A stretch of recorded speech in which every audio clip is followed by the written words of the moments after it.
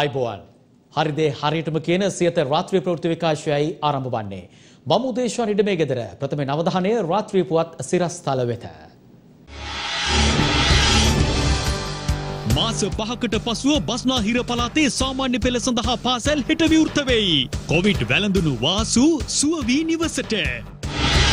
මංගල උත්සව තුනක් කරන් මදු සමයට නුවරෙලියේ ගිය යුවලට කොරෝනා. හෝමාගම සියයකට අධික පිරිසක් නිරෝධායනයට. ප්‍රදේශ කිහිපයක් හුද කලාවෙයි. තවත් ප්‍රදේශ කිහිපයක් හුද කලා බවින් නිවතට. කොවිඩ් මර්ධන එන්නත ප්‍රථමයෙන් ලබා දෙන කණ්ඩායම් අතරට මාධ්‍යවේදීනුත් ඇතුළත් කරන්න. රාජ්‍ය ඇමති ජනක වක්කුමුරගෙන් ඉල්ලීමක්. මෙරටේ මාධ්‍යවේදීන්ටත් මේ එන්නතර ඉදිරිපෙළේ ඇය හැටියට ගණන් අරගෙන ලබල දෙන්න කියලා හිටන් වරාය ඇමතිගෙන් හිටපු ජනපතිට එජාපේට සහ වරාය වෘත්තිය සමිතිවලට දැඩි වාක් ප්‍රහාරයක්. මුහුදේ යන නැව් හරවන්න අදානිට බැහැ. වියතුන්ගේ කටේ ඉන්දියන් රුපියල් හිරවෙලා. වෘත්තිය සමිති රැසකගෙන් චෝදනා. විකුණුවන්නෑ කියලා ආපු ආණ්ඩුව ඉතිහාසයේ අධිවේගී දිගිනිල්ලක. විපක්ෂ නායකවරයාගෙන් චෝදනා. සෞඛ්‍ය පිරිහිලා රාජිත දුක්වෙයි. දෙදහස් පහළවේ වැරදි මත ජනගත කළ කණ්ඩායම් දැන් සෙල්ලන් සේනංක හදාගෙන රාජ්‍ය ඇමති දිලුම් කියයි. අගමැති සහ කතානායකවරයා අතර හමුවක්. කොඩා රාවණාවේ සිර වූ සිමින්ති නෞකාව ගැන සොයන්න දිය යටින් යයි. රාත්‍රී ප්‍රවෘත්තිය තුළින් ප්‍රථමයෙන් අවධානය දේශීය පුවත් වෙත. මෙවර අධ්‍යයන පොදු සහතික පත්‍ර සාමාන්‍ය පෙළ විභාගය සඳහා පෙනී සිටීමට නියමිත සිසුන් වෙනුවෙන් පාසල් හෙට දින විවෘත කිරීමට නියමිතව තිබෙනවා. ඒ බස්නාහිර පළාත තුලයි. මේ අතර බස්නාහිර පළාතේ පිහිටා ඇති පාසල් 1576 අතරින් 900ක් පමණ එළමෙන පෙබරවාරි මාස 15 වෙනිදාට පෙර විවෘත කිරීමට හැකියාවක් ලැබෙනු ඇති බවට තමන් විශ්වාස කරන බව අධ්‍යාපන අමාත්‍ය මහාචාර්ය ජී.එල්. පීරිස් මහතා පවසනවා. හුදකලා ප්‍රදේශ හැර බස්නාහිර පළාත තුළ මෙවර අධ්‍යයන පොදු සහතික පත්‍ර සාමාන්‍ය පෙළ සිසුන් වෙනුවෙන් මාස පහක කාලයකට පමණ පසු හෙට දින පාසල් විවෘත කිරීමට නියමිතයි. මේ සම්බන්ධයෙන් අධ්‍යාපන අමාත්‍ය මහාචාර්ය ජී.එල්. පීරිස් මහතා මෙලෙස අදහස් පළ කළා. හෙට අපේ ප්‍රධාන අවධානය යොමු වෙලා තිබෙන්නේ බස්නාහිර පළාතේ පාසල්වල 11 වන ශ්‍රේණියේ පන්ති පිළිබඳවයි. කොළඹ ගම්පහ හා කළුතර දිස්ත්‍රික්කවල පාසල් සියල්ලම එකවරම විවෘත කිරීම ප්‍රායෝගික වන්නේ නැහැ. එම නිසා පවතින සෞඛ්‍ය තත්ත්වය තුළ ප්‍රායෝගික ක්‍රමවේදයක් සකස් කර ගැනීම තමයි අද තිබෙන අවශ්‍යතාවය. බස්නාහිර පළාතේ පාසල් විවෘත කිරීම සම්බන්ධයෙන් විශේෂ සාකච්ඡාවක් පවත්වලා කොයි කොයි පාසල්ද විවෘත කරන්න පුළුවන් වන්නේ මොන ක්‍රමවේදයක් අනුවද ඒ සම්බන්ධයෙන් ප්‍රාදේශීය සම්බන්ධීකරණ කමිටුවල සභාපතිවරුන් සාකච්ඡාවක් පවත්වලා අපිව දැනුවත් කරන්න එක. එක් එක් කමිටුව රැස් වෙලා සාකච්ඡා කරලා තීරණය වලට එළඹිලා ඒ තීරණ අපිට දැනුම් දෙන්නයි කියලා පෙබරවාරි 3 වෙනිදාට පෙර බස්නාහිර පළාතේ අවදානමක් නැති ප්‍රදේශවල පිහිට ඇති පාසල් 1576න් අපි විශ්වාස කරනවා 900කට වඩා පාසල් පෙබරවාරි 15 වෙනිදාට පෙර විවෘත කිරීමට පුළුවන් වෙයි කියලා. එසේම බස්නාහිර පළාතේ පෙර පාසල් ආරම්භ කිරීම සම්බන්ධයෙන් රාජ්‍ය අමාත්‍ය පියල් නිශාන්ත මහතා මෙලෙස අදහස් පළ කළා. ඒ ඔහු කොවිඩ් වෛරසය වැළඳී ප්‍රතිකාර ලබන කොග්ගල පිහිටි නිරෝධාන මධ්‍යස්ථානයේ සිටයි. සාකච්ඡා කරමින් යනවා ලබන මාසේ මැදට පෙර පෙර පාසල් බස්නාහිර පළාතේ දැඩි අවදානමක් තියෙන ප්‍රදේශ හැර ඒ ප්‍රදේශ වල ආරම්භ කරන්න. ඉතින් ඒක නිසා අපි විශේෂයෙන්ම ඒකට අවශ්‍ය කරන පරිසරයක් දැන් නිර්මාණය කරලා තියෙනවා. මම විශේෂයෙන්ම කියනවා බොහොම කෙටි කාලයක් ඇතුළත බස්නාහිර පළාතෙත් අධ්‍යාපන ශාස්ත්‍රයේ අනිකුත් ප්‍රාථමික අධ්‍යාපනය ආරම්භ වෙනවත් වගේම පෙර පාසල් වල මේ අවදානම් සහිත ප්‍රදේශ හැර අනිකුත් සියලුම පෙර පාසල් ආරම්භ කරන්නට අපි සූදානම් කියන පණිවිඩය ලබා දෙනවා. කොවිඩ් මර්ධනය සඳහා ශ්‍රී ලංකාවට ගෙනීමට නියමිත එන්නත ඉදිරිපෙළ පුද්ගලයන් වෙනුවෙන් ලබා දීමේදී මාධ්‍යවේදීන් වෙනුවෙන්ද ලබා දීමට පියවර ගත යුතු බව රාජ්‍ය අමාත්‍ය ජනක වක්කුමුර මහතා පවසනවා. මේ අතර පසුගියදා කොවිඩ් ආසාදිතව ප්‍රතිකාර ලැබූ අමාත්‍ය වාසුදේව නානායක්කාර මහතා පූර්ණ සුවය ලබා නිවස වෙත පැමිණ තිබෙනවා. COVID-19 වෛරසය ආසාධනය වී ප්‍රතිකාර ලබමින් සිටි අමාත්‍ය වාසුදේව නානායක්කාර මහතා පූර්ණ සුවය ලබා සිය නිවස වෙත පැමිණ තිබෙනවා. මේ වන විට අමාත්‍යවරයා යහපත් සෞඛ්‍ය තත්ත්වයෙන් පසුවන බවයි අමාත්‍යවරයාගේ මාධ්‍ය අධ්‍යක්ෂවරයා සියත අප කළ විමසීමකදී ප්‍රකාශ කළේ. එසේම රෝගාතුරව සිටි කාලය තුළ තමාහට ඉක්මන් සුවය ප්‍රාර්ථනා කළ සියලු දෙනා වෙත සිය කෘතඥතාවය පළ කරන බවද අමාත්‍යවරයා සඳහන් කර තිබෙනවා. හෝමගම ප්‍රදේශයේ පැවති විවාහ මංගල උත්සවයක මනාල යුවලට COVID-19 වෛරසය ආසාදනය වී තිබෙනවා. අදාළ මනාල යුවල උත්සව තුනක් පවත්වා ඇති අතර ඔවුන් මදු සමය සඳහා පසුගියදා නුවරඑළිය ප්‍රදේශය වෙත ගොස් තිබුණා.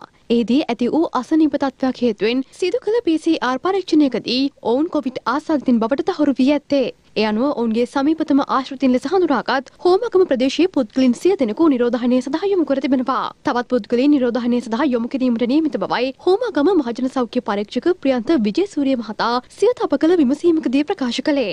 කොවිඩ් වෛරසය හමුවේ පසුගියදා හුදකලා කරනු ප්‍රදේශ අද පසරු හය සිට හුදකලා බවින් ඉවත් කෙරුණා. එය අනුව වැල්ලවත්ත පොලිස් වසමේ නසීර්වත්ත නිට්ටමුව පොලිස් වසමේ තිහාරය උතුර සහ තිහාරිය නැගනීර ග්‍රාම නිලධාරී වසම්වල වාරණ පන්සල පාර කත්තට පාර හා හිද්‍රාමාවතට ඇතුල්වන ප්‍රදේශ මිනුවන්කොඩ පොලිස් වසමේ ගල් ඔලුව නැගෙනහිර හා ගල්ලුව බටහිර යන ප්‍රදේශ එලෙස හුදකලා බවින් ඉවත් කෙරුණු පවයි COVID-19 පැතිරීම වැළැක්වීමේ ජාතික ක්‍රියාන්විත මධ්‍යස්ථානය නිවේදනය කළේ. එසේම මිනුවන්ගොඩ පොලිස් වසමේ ගල්ලුව ප්‍රදේශයේ ජුම්මා මස්ජිට් මාවත හිද්‍රා මාවත අලුත් පාර සහ අකරකොඩ යන ප්‍රදේශ අද පස්සරු හය සිට හුදකලා ප්‍රදේශ ලෙස නම් කෙරුණා. මේ අතර කොවිඩ් වෛරසය මර්ධනය සඳහා ශ්‍රී ලංකාවට ගෙන ඒමට නියමිත එන්නත සෞඛ්‍ය හා ආරක්ෂක අංශවලට මෙන්ම මාධ්‍යවේදීන්ටද ලබා දිය යුතු බවයි රාජ්‍ය අමාත්‍ය ජානක වක්කුමර මහතා පවසන්නේ. මෙම එන්නත ගෙනල්ලා ඉස්සෙල්ලාම ලබලා දෙන්න ලෝකෙම තීන්දුව කරලා තියෙන්නේ මේ ඉදිරි පෙළේ ඉන්න පිරිසට ඒ ඉදිරි පෙළේ ඉන්න අය තමයි අපි දකිනවා සෞඛ්‍ය අංශයේ ඉන්න සියලුම දෙනා. ඒ වගේම ත්‍රිවිධ හමුදාව පොලිසිය. ඒ අයට ලබලා දෙනවා වගේම අපේ ගොඩක් අයගේ ඉල්ලීමක් තියෙනවා. මේ රටේ මාධ්‍යවේදීන්ටත් මේ එන්නත අර ඉදිරි පෙළේ අය හැටියට ගණන් අරගෙන ලබලා දෙන්න කියලා හිටන් ඒක හොඳ කටයුත්තක්. මොකද ඒ අය තමයි රටටම ලෝකෙටම පෙන්වන්නේ ඒ තැනට ගිහිල්ලා කාටද හැදුනේ හැදිච්ච තැන කොහෙද? ආදානගාරය දක්වා ගිහිල්ලා ඒ සියලුම කටයුතු මාධ්‍ය ආවරණයක් ලබලා දෙනවා. ඒ කිසි කෙනෙක් මුකුත් බලන්නේ නැහැ. අර යුද්ධ කාලේ රට වෙනුවෙන් තමන්ගේ යුතුයකම ඉෂ්ට කරා වගේ මේ වෙලේ රටක් ඇටියට ජනතාවට දැනුවත් කිරීම කරන්නේ මේ මාධ්‍යවේදීන්. ඒ අයටත් මේ සියලු මාංශ වලින් ඉල්ලනවා ඒක ඉදිරිපෙළේ අය හැටියට සලකලා ලබලා දෙන්න කියලායි. ලෝක සෞඛ්‍ය සංවිධානයේ ඉහළ ස්ථානයක සිටි ශ්‍රී ලංකාව වර්තමානයේ සෞඛ්‍ය තත්ත්වය අතින් ඉතා පහළ මට්ටමක පවතින බව පාර්ලිමේන්තු මන්ත්‍රී රාජිත සේනාරත්න මහතා පවසනවා. ඒ අද කොළඹදී පැවති මාධ්‍ය හමුවකට එක්වෙමින්. වයිට්ගේ මුට්ටිය දැම්ම එතකොට දම්මිකගේ පැණිබිව්වා එතකොට මේ ඔක්කොම කල්ලත් අද එතුමියටත් කොරන වසංගත ඇවිල් ඒපිය පමණක් නෙවේ සෞඛ්‍ය අමාත්‍යංශය මේ වෙනකොට එකොලොස් දෙනෙකුට පොසිටිව් වෙලා තිබෙනවා හැත්තෑවකට වැඩි පිරිසක් නිරෝධායනයට ලක් කළ තියෙන සෞඛ්‍ය අමාත්‍ය ඇත්තේ. එනිසා සෞඛ්‍ය අමාත්‍යංශයත් අද කොරෝනා වසංගතයට ලක් වෙලා තිබෙන්නේ. දැයියේ BBC ප්‍රවෘත්ති සේවය වැනි ජාත්‍යන්තර ප්‍රවෘත්ති සේවයන් කොහොමද මේක වාර්තා කරේ අපේ ඇමතුමියට කොරෝනා කියන එක. එතුමියට කොරෝනා වැළඳුන එකට වඩා ඔවුන් කිව්වේ එතුමිය මෙතෙක්කල් නොයෙකුත් දේශීය නිෂ්පාදනය කියලා කියන එක්තරා පැණි වර්ගයක් පාවිච්චි කරලා මේකට එතුමියත් මේකෙන් ගැලවෙන්නට හැදුවා කියන තත්ත්වයක්. මෙවැනි ප්‍රවෘත්ති සාමාන්‍යයෙන් වාර්තා වෙන්නේ අප්‍රිකානු රටවලින්. නොදියුණු අප්‍රිකානු රටවලින්. මෙන්න මෙවැනි ගෝත්‍රික මානසිකත්වයෙන් වැඩ කරන රටක් විදිහට අද මේ රට හංබඩු ගහලා තියෙනවා. දැන් කයිවාරු ගහනවා හෙට අනිද්දාට ඉන්දියාවෙන් වැක්සින් එනවා. කීයට දෙන්නේ? ලක්ෂ 6යි. එතකොට මේ එන්නත ඩෝස් දෙකක් ගහන්න ඕනේ. එතකොට දෙකක් ගැහුවාම කී දෙනෙකුටද ගහන්න පුළුවන් මේක? ලක්ෂ 3යි. 120ක් හම්බ වෙනවා ලෝක සෞඛ්‍ය සංවිධානයෙන්. 120ක් ඒ කියවන දෙක ගානෙන් බත්තාම 110යි. ඒ කියන්නේ ලක්ෂ 21කට ඒක පාවිච්චි කරත හැකියි. එතකොට ඔක්කොම පාවිච්චි කරන්න පුළුවන් කීයද? ලක්ෂ 24ක ජනතාවට පාවිච්චි කරත හැකියි. ලංකාවේ ජනගහනය ලක්ෂ 210යි. ඒ කියන්නේ 115කටවත් පාවිච්චි කරන්න බෑ. මම හිටපු සෞඛ්‍ය ඇමතිවරයා වශයෙන් මං ඉතාමත්ම දුක් වෙනවා මේ තරම් තත්වයකට ගෙනාපු මේ රටේ සෞඛ්‍ය ශාස්ත්‍රය අද කඩාගෙන වැටෙන වේගය දැක්කහම වර්තමානයේ මෙරට ආර්ථික වශයෙන් මෙන්ම සෞඛ්‍ය ශේත්‍රය අතින්ද කඩාවැටීමකට ලක්ව ඇති බව එක්සත් ජාතික පක්ෂ නියෝජ්‍ය නායක රුවන් විජේවර්ධන මහතා පවසනවා. ඒ මහනුවර ප්‍රදේශයේදී මාධ්‍ය වෙත අදහස් දක්වමින් අද රට විශාල වශයෙන් ආර්ථික මට්ටමින්ද සෞඛ්‍ය මට්ටමින් දැන් මේ රට වැටලා තියෙන අපි හිඟන්නම් බවට පත් වෙලා තියෙනවා. අද කොවිඩ් ප්‍රශ්නෙට එන්න දෙයක් අවශ්‍ය වෙලා තියෙන අවස්ථාවේදී අපිට නොමිලේ එක එක රටවල් වලින් හිඟා ගන්න වෙලා තියෙනවා මේක අපිට දෙන්න කියලා. මොකද මේ රටේ සල්ලි නැති නිසා. ඊට පස්සේ එක පැත්තකින් පෞද්ගලික අංශ වලට කතා කරලා රජය කියනවා මුදල් ටිකක් දෙන්න මේ එන්නත ටික ගන්නට කියලා. දැන් මේක නිදහස් සෞඛ්‍ය සෞඛ්‍ය තියෙන සේවාවක් තියෙන රටක අපි දැන් පෞද්ගලික අංශයෙන් ඉල්ලීමක් කරනවා සල්ලි දෙන්න කියලා එන්නත ගන්න. ඒ වගේම සෞඛ්‍ය ඇමතුමිය දැන් කොවිඩ් හැදිලානේ. දැන් එතුමියගේ තමන්ගේ සෞඛ්‍ය ආරක්ෂා කරන්න බැරි නම් කොහොමද රටේ ජනතාවගේ සෞඛ්‍ය ආරක්ෂා කරන්නේ? රජයක් හැටියට ගත්තොත් බංකොලොත් රජයක් මේක. කොළඹ නැගෙනහිර ජැටිය සම්බන්ධයෙන් එල්ලවන චෝදනාවන්ට සහ වෘත්තීය සමිතිවලට විශේෂභාර අමාත්‍ය රෝහිත අබේගුණවර්ධන මහතා අද දැඩි වාග් ප්‍රහාරයක් සමගින් පිළිතුරු ලබා දුන්නා. එක්සත් ජාතික පක්ෂය පාප කර්මයකට අහුවෙච්ච පක්ෂයක්. මම දැක්ක ඔවුන් නිවේදනයක් නිකුත් කරනවා අපේ කාලේ කිසිසේත්ම නැගෙනහිර පර්යන්තය සම්බන්ධයෙන් කිසිම ගිවිසුමකට ආවේ නැහැ කියලා. රාජ්‍ය තාන්ත්‍රික ගිවිසුම් දෙකක් මේ යහපාලන ආණ්ඩුව විසින් අත්සන් කරා. ඒ ඒ ගිවිසුම් දෙක අත්සන් කරේ මේ රටයි ඒ රටයි අතර එළුව විකුණන්නද දන්නේ. මම දැක්ක මෛත්‍රීපාල සිරිසේන හිටපු ජනාධිපතිතුමා කියලා දෙනවා මගේ කාලේ නම් මේක දුන්නේ නැහැ කියලා. එතුමා ජනාධිපති නෙවේද මේ ඔය ගිවිසුම් අත්සන් කරනකොට. ඔබතුමාට මේවෑම් බේරෙන්න බෑ. වත්මන් ජනාධිපතිවරයා පත්කර ගැනීම සඳහා වරාය වෘත්තීය සමිති දැඩි කැපවීමක් සිදු කළ බැවින් මෙම ක්‍රියාකලාපය කිසිසේත් අනුමත කළ නොහැකි බවට වරාය වෘත්තීය සමිති සිදු කරන ප්‍රකාශයන්ටද අද අමාත්‍ය රෝහිත අබේගුණවර්ධන මහතා දැඩි ප්‍රකාශයක් සිදු කළා. දැන් මේ වරාය වෘත්තීය සමිතිය තමයි දැන් එහෙනම් මේ ගෝඨාභය රාජපක්ෂ ජනාධිපතිතුමා ජනාධිපති කරලා තියෙන්නේ. අපේ අනිත් රටේ මේ මිනිස්සු කුකුත් කරලා නැහැ. ඒ ඔය වෘත්තීය සමිතිය උන්නහැලා හොඳට හිටියන් නිදාගෙන කිසි ප්‍රශ්නයක් නැතුව අර හම්බන්තොට වරාය ගෙඩියට විකුණලා දානක. හූ කිව්වේ නැහැ. අපිට පේනවා බොහොම පැහැදිලිව අද මේ වෘත්තීය සමිතියත් දේශපාලන න්‍යාය පත්‍රයක් එක වැඩ කරන බව. ඒ දේශපාලන න්‍යාය පත්‍රේ පිටුපස මොනවද තියෙන්නේ කියන එකත් අපි හොඳට දන්නවා දැන්. බොහොම පැහැදිලිව අපි රජයක් හැටියට අභියෝගවලට මුහුණ දෙන්න ලෑස්ති. මේ අතර මහා සංඝරත්නය දේශපාලඥයින් සහ විවිධ වෘත්තිකයින් රැසක් අදත් කොළඹ වරාය නැගෙනහිර ජටිය සම්බන්ධයෙන් වන ගැටලුව පිළිබඳව අදහස් පළ කළා. පැවරූ පසු වරායෙහි පෙරදිග ජැටිය වනු ඇත. යම් දිනක මේ බිම යුද පිටිය. රත්වන තුරු බලා සිට ලංකා තැටිය. මෝදිත් එන්නේ පුච්චාගන්නද රොටිය. ඇත්තටම මේ රටේ සම්පත් විකිණීම පිළිබඳව කිසිසේත්ම භික්ෂුන් වහන්සේ නමක් හැටියට රට ගැන හිතන කෙනෙක් හැටියට අනුමත කරන්නේ මම තවමත් ගෝඨාභය රාජපක්ෂ ජනාධිපතිතුමා පිළිබඳව විශ්වාසය ඇති කරගෙන දැනටත් ඉන්නවා. ඇයි මේ හිටි අඩියේ කඩිමුඩියේ අපට වැක්සින් දෙන්න අපි පිළිබඳව ඇති වෙච්ච කරුණාව මොකද්ද?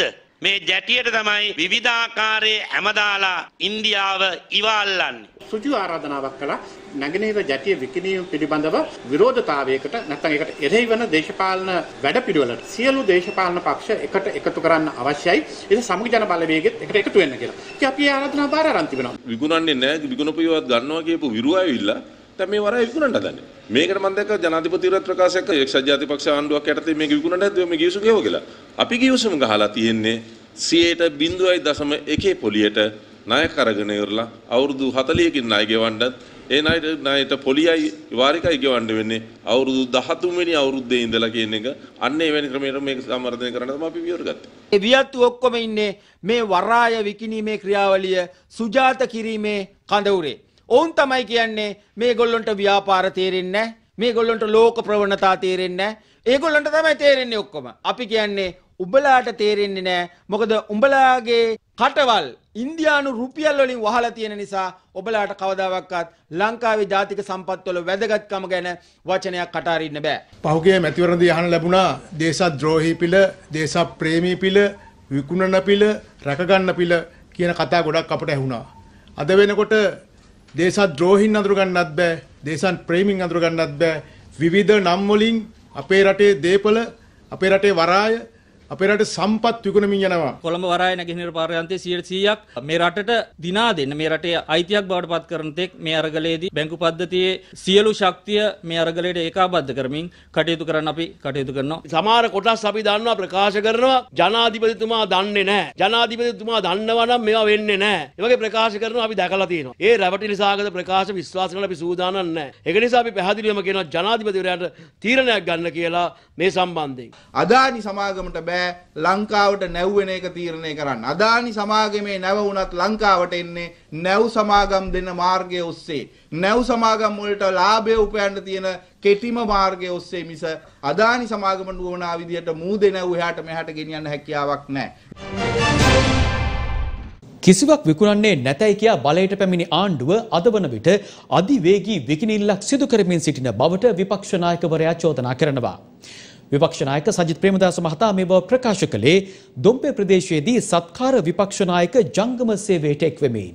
විකුණන් නැහැ කියපු කණ්ඩායම ඇවිල්ලා දැන් විකුණනවා. දේශීය සම්පත්, දේශීය ආයතන, ජාවාරම්කාරී ක්‍රමවේදයට කුණු කොල්ලට විකුණන ගමන ආරම්භ කරේ මේ ආණ්ඩුව පිහිටවපු දවසේ ඉඳලා. 69 ලක්ෂයක් 68 ලක්ෂයක් ලබා දුන්නු ජනවරම ද්‍රෝහී අන්දමින් පාවා දීලා තිබෙනවා. විකුණන්නේ නැtei කියපු කණ්ඩායම ඉතිහාසයේ වේගවත්ම විකිණීම කරන සීමාවක් නැහැ. අධිවේගී මාර්ගයටත් තියෙනවා වේගයේ සීමාවක්. නමුත් මේ විකිණීමට සීමාවක් නැහැ. උපරිම ආකාරයෙන් විකුණන. මම කියන්න කැමතියි 69 ලක්ෂයක් 68 ලක්ෂයක් මේ රටේ ජනතාවට මේ රජය ද්‍රෝහි වුණා. ඒ මුලා වුණු කණ්ඩායමට මම කියන්න කැමතියි සමගි ජන බලවේගයේ දොරටුව විවෘතයි. අපිත් එක්ක අත්වල බැනගන්න. අපි මොනම ආකාරයකින්වත් දේශීය සම්පත් විකුණන්නට ලෑස්ති නැහැ. එනමුත් අපේ රටේ තිබෙන සීමා සහිත සම්පත් තත්ත්වය තුල විදේශ ආයෝජනයට අපි මුල් තැන දෙනවා. විදේශ ආයෝජකින්ගෙන් ලැබෙන ඒ ඩොලර් ආධාර ඒ ආයෝජනය මේ රටේ ජනතාවට ඵලදායී ව්‍යාපෘති හැටියට අපේ රටේ අයිතිය අහිමි නොකරගන්නා විදියට අපි නූතනවාදී ආයෝජන ප්‍රතිපත්තිය අලුත් ආයෝජන ප්‍රතිපත්තිය රටට ඉදිරිපත් කරලා දේශීය සම්පත් සුරකිමින් විදේශීය ආයෝජන වලටත් මුල් තැන ලබා දෙන ඒ හැම අතින්ම දිනවන වැඩපිළිවෙල ක්‍රියාත්මක කරන්නට කටයුතු කරනවා COVID-19 වෛරසය හමුවේ එළවන නවවනදා පාර්ලිමේන්තු සභාවාරය ආරම්භ කිරීම සම්බන්ධයෙන් අග්‍රාමාත්‍ය මහින්ද රාජපක්ෂ මහතා සහ කතානායක මහින්ද යපා අබේවර්ධන මහතා අතර සාකච්ඡාවක් අද පැවැත්වුණා. ඒ විජේරාමයේ පිහිටි අග්‍රාමාත්‍ය නිල නිවසේදී. කතානායක මහින්දයාපා අබේවර්ධන මහතා අද උදැස්සන විජේරාමයේ පිහිටි නිල නිවසේදී අග්‍රාමාත්‍ය මහින්ද රාජපක්ෂ මහතා හමු වුණා. COVID-19 අභියෝගය හමුවේ ලබන නවවනදා පාර්ලිමේන්තු සභාවාරය ආරම්භ කිරීම සම්බන්ධයෙන් අග්‍රාමාත්‍යවරයා සහ කතානායකවරයා අතර මෙහිදී සාකච්ඡා වී තිබෙනවා. සෞඛ්‍ය මාර්ගෝපදේශවලට යටත්ව පාර්ලිමේන්තුවේ කටයුතු නිසියාකාරව පවත්වාගෙන යාම සම්බන්ධයෙන් අග්‍රාමාත්‍යවරයා මෙහිදී කතානායකවරයාගේ අවධානය යොමු කළා. පසුගිය කාල සීමාව තුළදීත් වත්මන් පාලකීන්ට චෝදනා එල්ල කළ පුද්ගලයින් වර්තමානය වන විට වෙනත් මුහුණුවරකින් පැමිණ සිටින බව රාජ්‍ය අමාත්‍ය දිලු මමුණුගම මහතා පවසනවා. ඒ මහනුවර ප්‍රදේශයේදී වැඩසටහනකට එක්වෙමින්. අද අපි දකිනවා දිගින් දිගට පහුගිය කාල සීමාවේම ක්‍රියාත්මක වෙච්ච කණ්ඩායම් මහින්ද හොරයි කියන පවුල් වාදය පිළිබඳව කියන්න රත්තරන් අස්පියෝ ගැන කියන්න පුත්තු තුන්දෙනා හෙලිකොප්ටරෙන් නුවර ලියනවායි කිව්වා ඩුබයි මැරියට් හෝටලේ අයිති මහින්ද රාජපක්ෂ මහත්තයාටයි කිව්. ඩොලර් මිලියන 200ක් ගිණුමක තියෙනවා මේවා ආණ්ඩුව ගත්ත ගමන් අපි ලංකාවට ගේනවායි කියපු කණ්ඩායම. අද අන්ත්‍රස්ථාන වෙලා නැහැ කියන කාරණේ අපි සුණා මතක තියාගන්න. අන්නද ඒව තමයි ඔය සෙල්ලම් සේනාංක හැටියට එළියට එන්නේ මොකද්ද 43ද 44ද මොකද්ද කියනෝ අපි නම් කියන එකට සෙල්ලම් සේනාංක. ආණ්ඩුව මෙච්චර පල්ලෙහාට වැටිලා තියෙත් සෙල්ලම් සේනාංක සංවිධානය කරන කණ්ඩායම අන්න අර මහින්ද රාජපක්ෂ මැතිතුමා හොරයි හොරයි හොරයි හොරයි කියලා 2015 තරුණයන් අතර මතයක් ඇති කරලා නාමල් රාජපක්ෂ මැතිතුමාත් එක්ක නැත්නම් එතුමාගේ දරුවෝ පිළිබඳව වෛරයක් ඇති කරන්න තරුණයන් අතර ක්‍රියාත්මක වෙච්ච මේ කණ්ඩායම අදටත් වෙනත් විදිහකින් ක්‍රියාත්මකයි කියන කාරණේ විශේෂයෙන්ම අපේ තරුණ තරුණියන් මතක තියාගන්න. වත්මන් ආණ්ඩුව සෑම ශේෂත්‍රයකින්ම මර්ධනය කරමින් ජනතාවට තොරතුරු ලබා ගැනීමේ අයිතිය වැළැක්වීමට ක්‍රියා කරමින් සිටින බව පාර්ලිමේන්තු මන්ත්‍රී ජේසී අලවතුවල මහතා පවසනවා. ඒ අද කුරුණෑගල ප්‍රදේශයේදී මාධ්‍ය හමුවකට එක්වෙමින්. දෙදස් පහලොට ඉස්සල්ලා මතකය අපි සීකරොත් අපි දකිනවා විශාල මර්ධනයක්. එක පැත්තකින් මාධ්‍ය ඒ වගේම රජයට විරුද්ධව කතා කරපු අය මර්ධනය කරා. ඉතින් එතෙන්ටද මේ රජය යන්නේ? දැන් මේ වෙනකොට පාර්ලිමේන්තුව තුල කතා කරන മന്ത്രിතුමාලටත් විරුද්ධව යම් යම් චර්චන ඉදිරිපත් වෙනවා. ඉහළම ස්ථානයේ. දැන් අත්‍තරම අපි ගත්තොත් එක පැත්තකින් අපි දකිනවා සමහර නඩු වලින් අවුරුදු 5ක් අහපු නඩු ඒවා නිදොස් කොට නිදහස් වෙනවා. අනිත් පැත්තෙන් රංජන රාමනායක වැනි රටේ ජනතාව වෙනුවෙන් පොදු ජනතාව වෙනුවෙන් හඬක් නගන අය නිහඬ කරන්න බලාපොරොත්තු නොවුණු විදිහේ තත්ත්වයක් අද උදා වෙලා තියෙනවා. තියෙන පැහැදිලිවම අපි කියනවා රජයට මේ මර්ධනය තුලින් රජය බලාපොරොත්තු වෙනවා නම් විශේෂයෙන්ම කටවහන්න රටේ ජනතාවගේ මාධ්‍ය මර්ධනය කරන්න අපි කියනවා විපක්ෂයක් හැටියට අපි මේ කිසි දෙයකට බය නැතුව එඩිතරව රජය කරන වැරදි රටේ ජනතාවට කරන මේ අකටයුතුකම් සම්බන්ධයෙන් අපි විපක්ෂයක් හැටියට සමගි ජන බලවේගය ජනතාවගේ පැත්තේ ඉඳලා අපි කටයුතු කරනවා කියන එක අපි පැහැදිලිවම මතක් කරන්න ඕන රජයට. අබුඩාබි වරාය සිට ශ්‍රී ලංකාව වෙත සිමෙන්ති ප්‍රවාහනය කරමින් තිබියදී කොරල් පරයක ගැටීමෙන් අනතුරකට පත් නෞකාව මේ වන විට එම ස්ථානයෙන් පිටතට පැමිණ තිබෙනවා. අදාළ නෞකාව හෙට දිනේදී වරායක් වෙත ළඟාවීමට නියමිතයි. අනතුරට පත් MV යුරෝසන් නෞකාවේ නිරීක්ෂණ කටයුතු අද නාවික හමුදාවේ කිමිතුම්කරුවන් පිරිසක් යොදා ගනිමින් සිදු කෙරුණා. අද උදෑසන සිට නාවික හමුදා කිමිදුම් මෙහෙයුම මගින් නෞකාවේ සිරවීති ආකාරය පිළිබඳ තමත් වැදගත් තොරතුරු කීපයක් ලැබුණා. එම මෙහෙයුම අවසන් වනවත් සමගම වාගේ වඩදිය සහ දියවැල් වලට බලපෑමට හසු වී නෞකාව සිරවී ඇති ස්ථානයෙන් එළියට පැමිණ තිබෙන බව දැනුම් දෙන්නට පුළුවන්. එම නෞකාව ආරක්ෂාකාරී ස්ථානයක නැංගුරම්ලා නැවතත් කිමිදුම්කරුවන් මගින් පරීක්ෂාවක් සිදු කිරීමෙන් අනතුරුව වරායක් වෙත පිටත් කර යැවීමට බලාපොරොත්තු වෙනවා. බොහෝ විට හම්බන්තොට වරාය වෙත නෞකාව රැගෙන යාම සිද්ධ වෙන්නත් පුළුවන්. මේ අතර ශ්‍රී ලංකා ගුවන් හමුදාවේ අංක තුන සමුද්‍රයේ බලගනයට අයත් බීච් ක්‍රාෆ්ට් දෙසිය වර්ගයේ ගුවන් යානාවක් යොදා ගනිමින් අනතුරට පත් නෞකාව ගුවනින් නිරීක්ෂණය කිරීමේ කටයුතු සිදු කෙරුණා.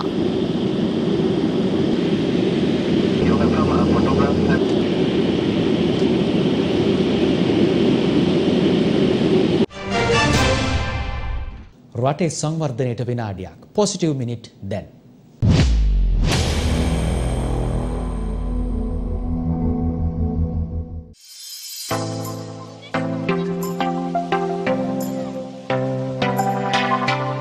ලංකාවේ තේ සඳහා විදේශ රටවල පවතින්නේ ඉහළ ඉල්ලුමක්. ශ්‍රී ලංකාවේ තේ නිෂ්පාදනය තුළින් උපයන විදේශ විනිමය ශ්‍රී ලංකාවේ දළදේශීය නිෂ්පාදනය වර්ධනය කෙරෙහිද දායක වනවා. ඒත් අද වන විට තේ වගා කරන භූමිවල අඩුවක් දක්නට ලැබෙනවා. සෞභාග්‍ය ඉදිරි දැක්ම යටතේ ලුණුගල ප්‍රාදේශීයලකම් කොට්ටාශයට අයත් ග්‍රාම සේවා වසම් දහයක ගෙවතු ආශ්‍රිතව දීර්ඝ කාලයක් වල් බිහිවී තිබූ මුඩු ඉඩම් තේ වගාව සඳහා යොමු කරවීම වෙනුවෙන් වූ වැඩසටහනක් පසුගියදා ක්‍රියාත්මක වුණා. මෙහිදී එක් පවුලක් සඳහා අක්කර කාලක පමණ භූමි ප්‍රමාණයක් තේ වගාව සඳහා යොමු කර ඇති අතර එක් පවුලකට තේ පැල එක්දස් දෙසිය පණහා බැගින් පවුල් දෙසිය තියක් සඳහා තේ පැල බෙදාදීම සිදු කෙරුණා. ඉඩම්වල පලදායිතාවය වැඩිකිරීම වෙනුවෙන් තේ සමඟ වගා කළ හැකි අතුරු බෝග හා කෘෂි උපකරණද මෙහිදී බෙදාදීම සිදු කෙරුණා. මෙම අවස්ථාවට කම්කරු අමාත්‍ය නිමල් සිරිපාල්ද සිල්වා මහතා ඇතුළු පිරිසක්ත එක්ව සිටියා.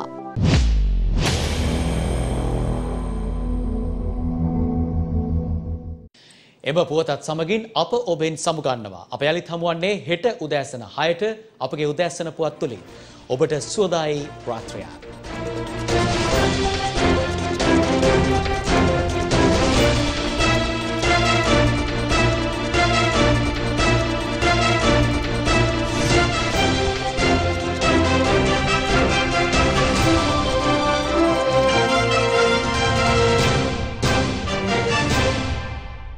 දිනපතා අලුත් වීඩියෝ සහ ප්‍රවෘත්ති නැරඹීමට ඉහත බටන එක කලික් කර සියත TV සබස්ක්‍රයිබ් කරන්න.